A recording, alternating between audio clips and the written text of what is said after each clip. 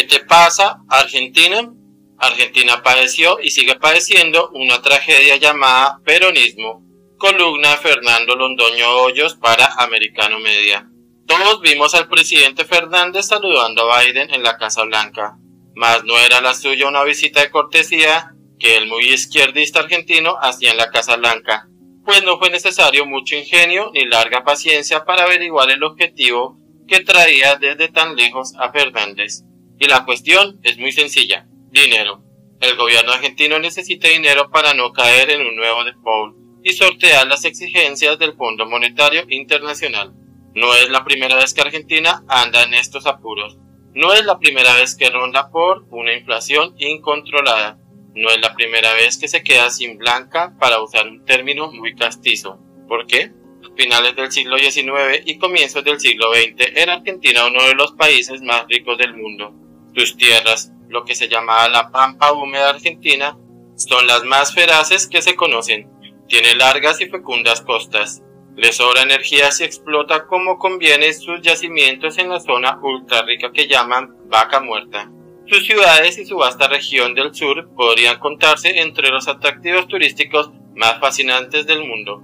Tiene gente sobremanera ilustrada, universidades de larga y merecida fama, ciudades imponentes como esa Buenos Aires, que es de las más hermosas de la tierra.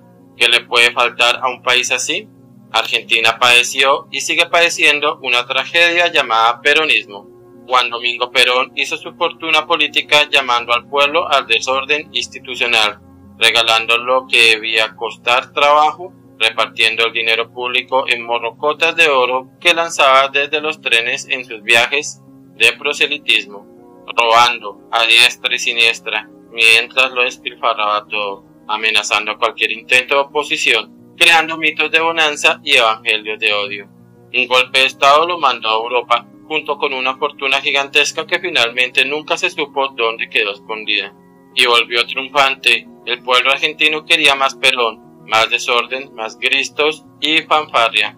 Otra vez dejó el país en ruinas y acostumbrado a enlazar el robo y a esperar que le caigan encima las morrocotas de oro. ¡Qué tragedia! El país más rico de América, al que le sobra todo, hoy carece de todo. Continuando esa cadena de oprobio moral y desvergüenza política, los Kirchner un matrimonio inecto y voraz, terminaron herederos de las hazañas peronistas, en todo, en su estilo demagógico, en su indecencia y en su ineptitud, y en sus resultados. Por eso tiene que viajar Fernández desde tan lejos a hacerle venias a lo que más detesta, porque hay hambre en Argentina. Millones de argentinos la padecen. Centenares de miles de niños no tienen un pupitre ni un plato de comida. La inflación supera el 100% y no la controla nadie y el Fondo Monetario Internacional no deja de cobrar ni exigir lo que menos puede dar el peronismo. Orden, juicio, austeridad, trabajo. Amemos ese pueblo maravilloso, esa gente extraordinaria con sus oportunidades perdidas. Una Argentina mendicante es un espectáculo doloroso e incomprensible. Es la negación de la lógica más elemental. Pero se entregó al populismo y ahora paga el precio de esa farsa.